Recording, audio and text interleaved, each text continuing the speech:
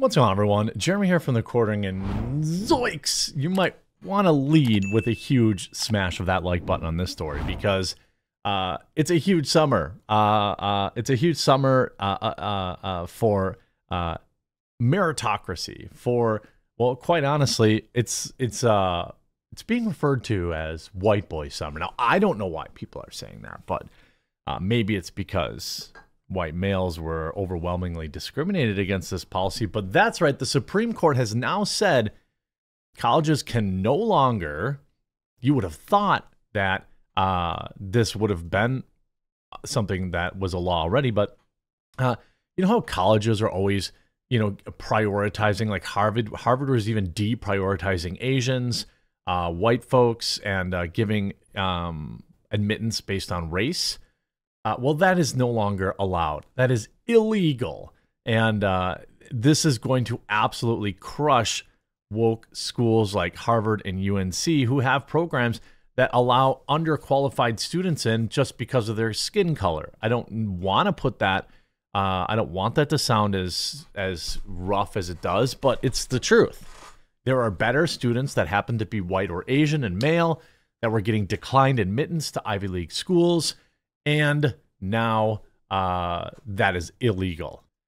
Supreme Court allows race as a factor in college administration's outlaws, sorry, not allows, outlaws race as a factor in major affirmative action ruling. Justices vote 6 to 3 to rule Harvard and UNC programs unconstitutional. Now, most of us would have known it was unconstitutional from the start but, you know, you're not allowed to complain about that sort of thing, lest ye be called a racist.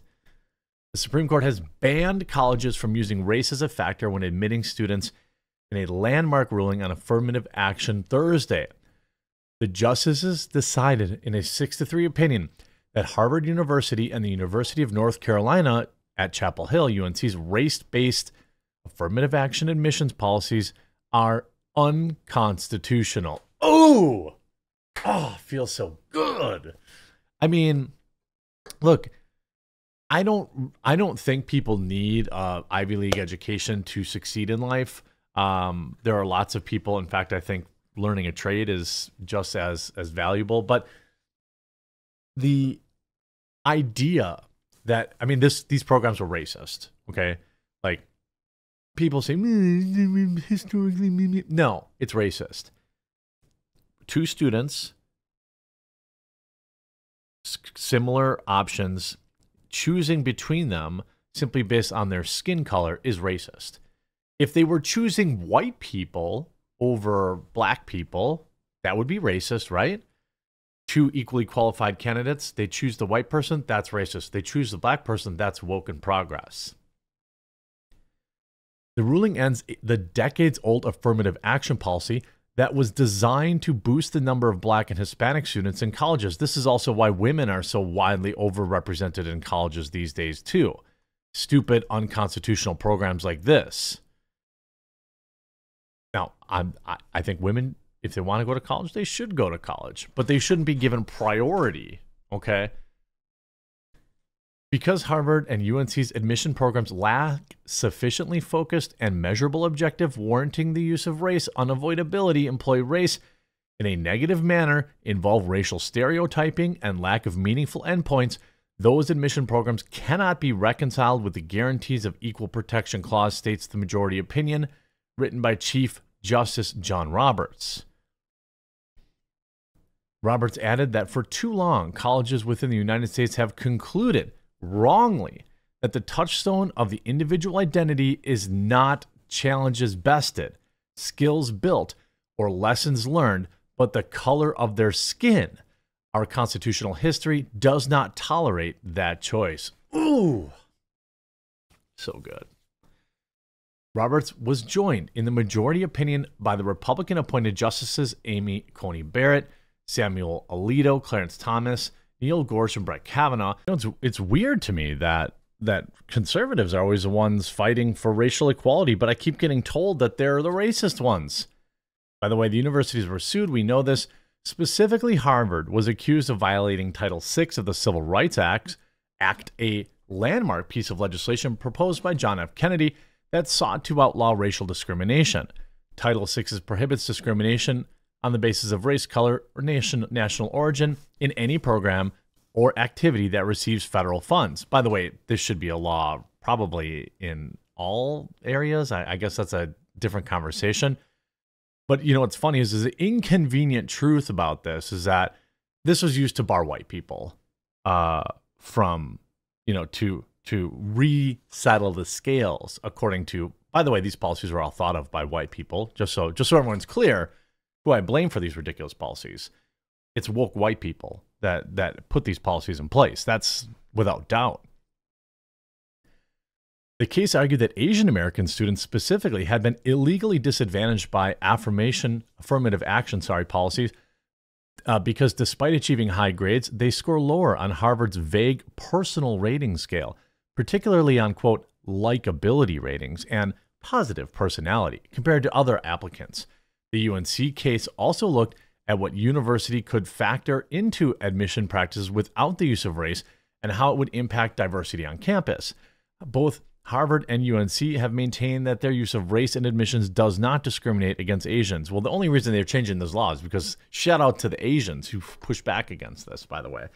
You know, when I'm working with people, I want the best people. I don't really care what their skin color is.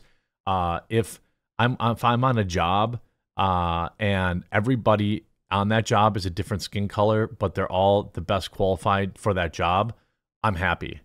If they're all the same skin color, but they're all the same, the best people for the job, I'm happy. Why is this controversial? Why is this like, why doesn't everybody feel this way? I assume everyone does. If you're, especially when you're working on a team, it's like you don't want to pick up the slack from for some diversity hire. Okay. That's just the truth of it. Now, you want to talk about 50 years ago when companies weren't hiring black people because they were black will agree that that's discrimination. They should be hiring the best person for the job. If the best person for the job is a black person or an Asian person, then that's who should get the job. Quote, um, sorry, Justice Thomas, who is the second black justice appointed in history, called race based administrations rudderless and designed to ensure a particular racial mix in their entering classes, of course. He went on to, uh, on his concurring opinion, which he read from the bench in a rare move, to state plainly that despite being painfully aware of discrimination against other individuals of his race, he had hope that Americans will be treated equally under the law. While I'm painfully aware of social and economic ravages that have been befallen my race, he, Clarence is black, in case you didn't know that, and all who suffer discrimination, I hold out enduring hope that this country will live up to its principles so clearly enunciated in the Declaration of Independence and the Constitution of the United States. That all men are created equal, are equal citizens, and must be treated equally under the law. However, Justice, sorry, Democrat appointed Justice Sotomayor wrote in a written dissent that the decision rolls back decades of precedent and momentous progress. Is it really progress if you're discriminating? And and by the way, Twitter is erupting. They're erupting. In a separate dissent, uh, Kenyatta whatever Brown Jackson said that uh, this is a tragedy. A tragedy. This woman thinks it's a tragedy that the best person for the job got the job. That's, I mean, that's like, that's what it is. The best person for the job got the job.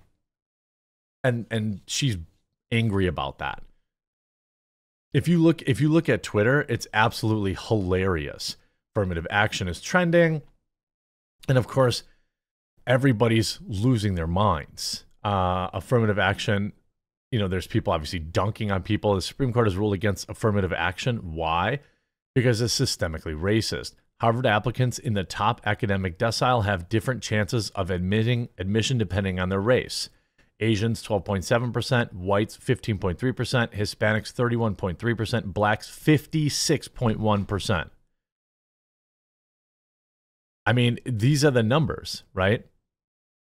I the, the best person should get the best opportunities. That's how it should work. You shouldn't be held back. And by the way, this is so wild. Like if I were up here up here saying, "Look, if if if the black person, if somebody's black and they're the best person for the job, they should get the job." I would be hailed as woke and progressive and stuff. But if I say white person, then you're called like a uh, Nazi or something like that, right?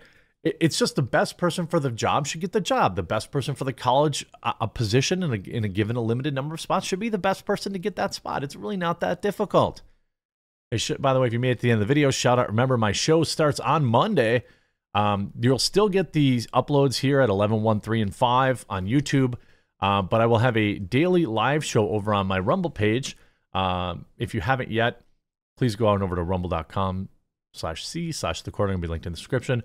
Uh, give me a follow there. I'm looking forward to Monday's show. Uh, I've got a lot of fun stuff planned. I'm working on some fun guests. I'm working on getting Roseanne, Tim Dillon, a variety of other people. So um, we're going to have uh, a, a, fun time over there. And I hope you'll support me there. If you're watching already on Rumble, BitChute Odysee, I appreciate you as well. Wherever you're watching, please do subscribe though. And we'll talk to you again real soon.